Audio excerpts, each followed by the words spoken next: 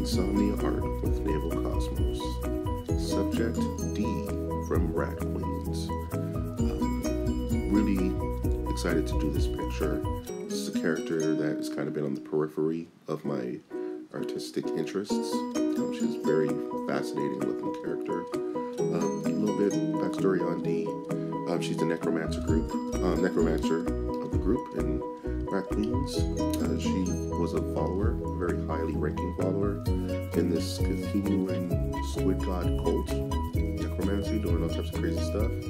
One day she had a change of heart. Said, you know what, maybe I shouldn't be worshiping this giant flying squid lord. And uh, wackiness ensues, apparently, um, with the rest of her Queen squadron. Um, with this image, I really wanted to kind of boil down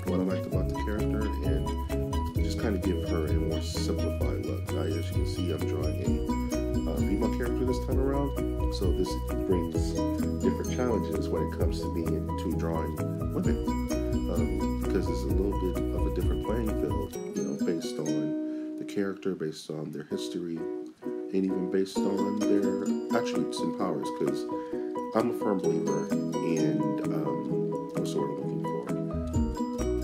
for? In accuracy based on ability. You know what I mean? I do not like when a character is highly exaggerated for the sake of pop or cheesecake.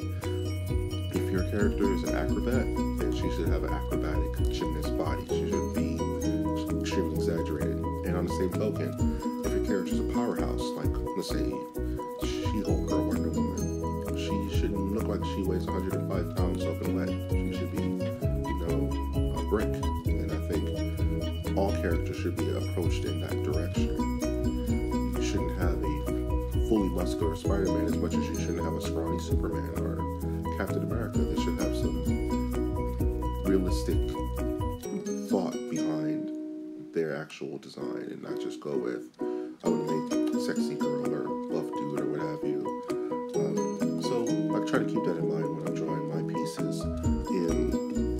Try to make it as real as, as realistic as this subject can be. As you can see, this character is highly detailed, which is really fun. I love doing tons of detail because there's a lot of things you can get wrong, and it just makes you want to sit there and think and really study the character and make sure you don't miss anything.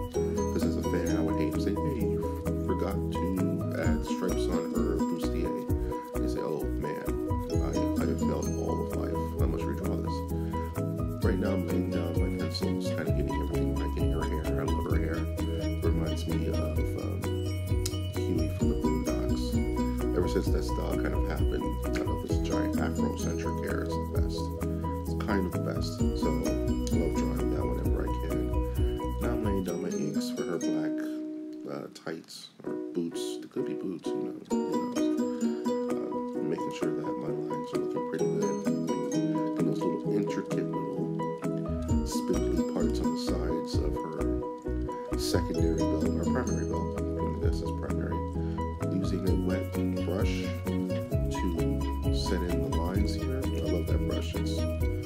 really helped me convert from standard media like pencils and paper to digital. Because I just get the weight of the pencil was really the hardest part, or even the weight of the inks, to me getting comfortable drawing this way digitally.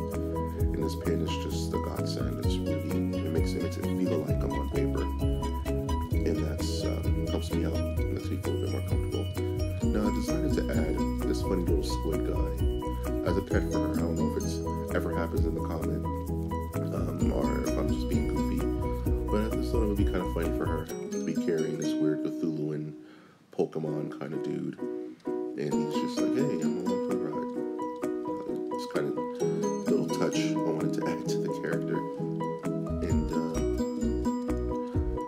just kind of have fun with it. You know, it's almost funner to draw characters you don't know, because you can be a bit more creative with your approach. You know, you're kind of so tied to the Spider-Man. This is how Spider-Man looks, so you have to get it right. And when you do those artistic interpretations, you have to do a lot more explaining. You know, kind of, oh, this is my vision of how Spider-Man would turn out if X, Y, Z. You can understand, like, why is he drawing a, a, dime store Spider-Man? Like, no, just wanted to try to do my own thing with it. But with characters characters you're not too familiar with, you, you can take those liberties and say, hey, I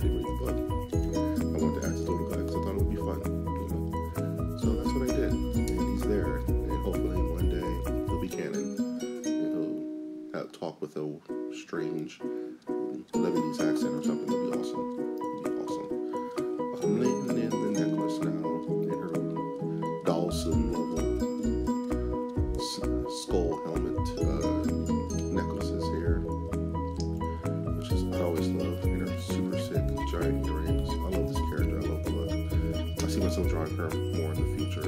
She's just cool looking, really, really, really cool looking. Um, not beating her face, and this is actually the toughest things. It's actually representing ethnicity in facial expression, ethnicity and facial structure.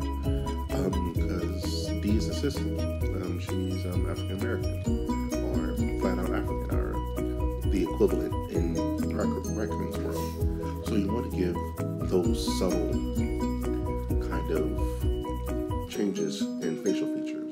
And it, it depends on any race you're drawing, from Caucasian to um, Asian to Hispanic to Indian. You want to kind of really pay attention to that. Um, you should teach yourself to draw multiple ethnicities and be comfortable with it. Because if you're going to be creating a story, you're going to want some diversity. No matter what, you know, unless you're drawing aliens and then you draw whatever you want. But when it comes to drawing different ethnicities, you want to be subtle but yet respectful of that culture. You know, it's something to think about. You know, a lot of art is a lot of prep work,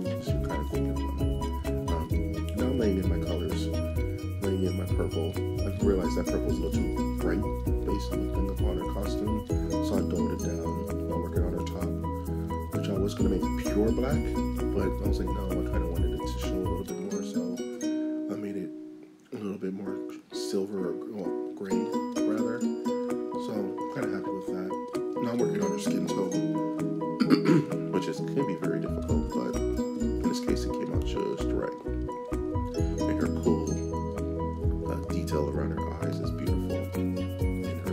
tattoo, now I'm figuring out the background. As you can see, kind of did multiple different pulls on it. It came about. Love the way this one turned out. Hope you did too.